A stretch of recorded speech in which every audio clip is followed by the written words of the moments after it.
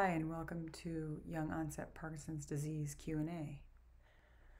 Could you please talk about trauma and Parkinson's?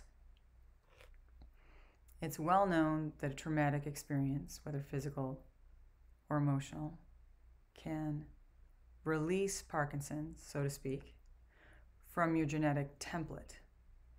That's all we know so far. Anecdotally is the only thing I have for you here.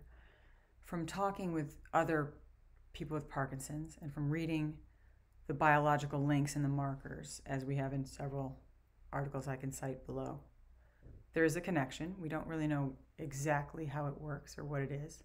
And that's not to say that all trauma can cause this, but certainly trauma like a brain injury can, as we know from a most famous example of Muhammad Ali.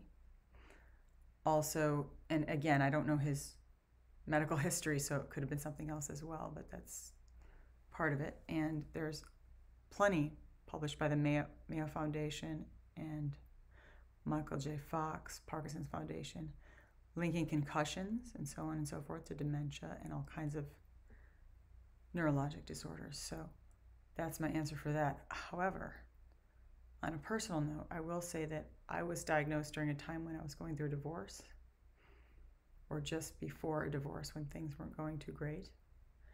Was the chicken the egg? Who knows? I mean, part of it was the problems with Parkinson's.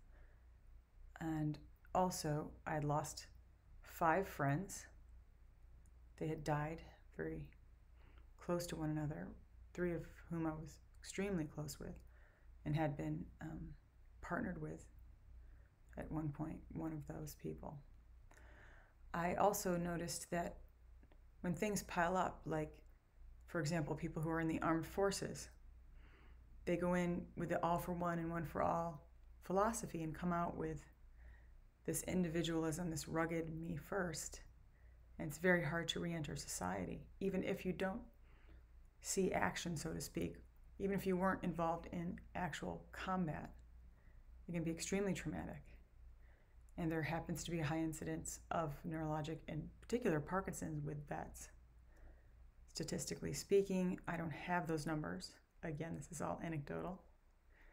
This is all based upon things I have heard, witnessed, shared with others, and my own personal reflections. So that's my answer for you. Trauma is worth a look. Check out all the articles. You can find many of them yourself, and the research continues on that. Next question. When would you tell people that you have Parkinson's? When is it appropriate?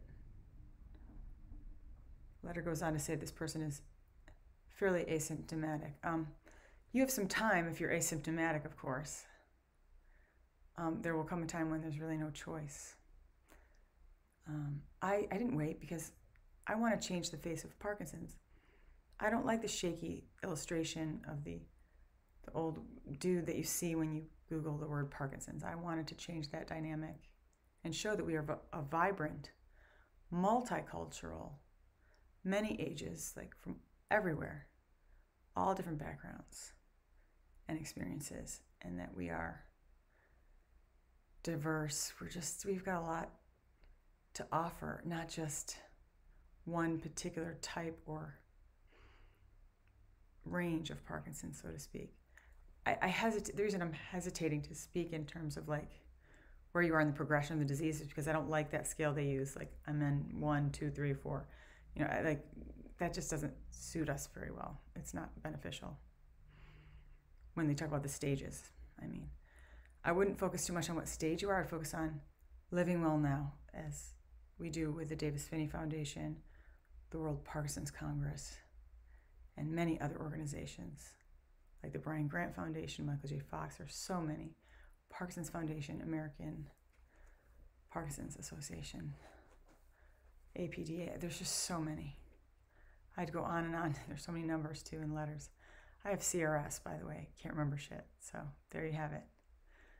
What I would like to add to that last part if you're going to tell people by going on a date versus something in the professional range, I would say disclose rather quickly, as soon as possible. Um, people like to know what they're working with, and you learn a lot about people based upon how they respond to finding out you have a progressive degenerative brain disease.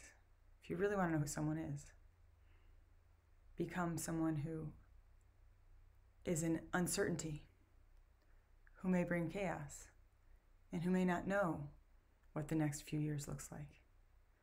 And with that, I wish you well. I hope this Q&A helped out. If it did, please pass it along to someone who could use it. If it didn't, scroll on through. There will be more soon. Thank you.